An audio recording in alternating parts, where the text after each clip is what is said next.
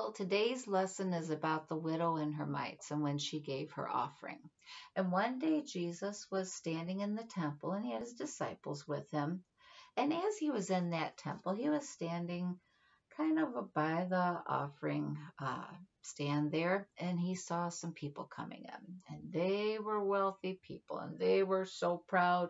They came in and they dropped their gold and silver coins into the into the stand and they thought, "Oh, what a good giver I am. Oh, just look at all this money I'm putting in there.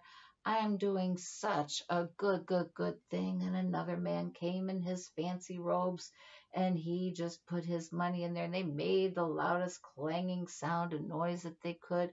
They just thought they were doing the best, best thing. And Jesus is seeing all of this.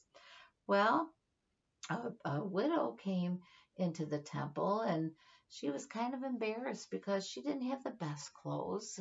And a widow is someone whose husband has gone up to heaven and she doesn't have a husband to support her anymore. So anything that she has is isn't very much and all she had were two little coins two little mites and she was kind of embarrassed because she thought she didn't look good enough to come in but she thought my children are healthy i'm healthy and I believe in Jesus and God, and He's going to take care of me. I'm going to give all what I have, these two mites, into that offering. And she did. She dropped those two two mites into the offering stand.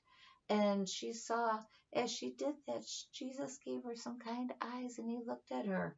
And he looked at the people in the temple and he said, I tell you this, this woman has given me more than anything. She has given to me from her heart.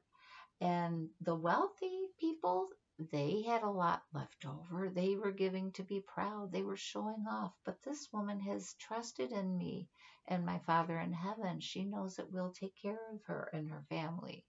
And it's just like us today. When we give our offerings in church, we give it to spread God's word and his love. And it's not what we have, but we're giving a gift back to God because he has given us so much. And we want to help spread that love. And as part of our offerings, we do that. We give them into our church, and that helps our church and our school, but to spread Jesus' love for everyone. And we're just so thankful that God does take care of us and He loves us so very much. Can you pray with me? Dear Heavenly Father, we thank you for every good and gracious gift that you give to us. You do bless us every day so much, and we thank you for that. And we ask for your blessings on everyone. In your name we pray. Amen.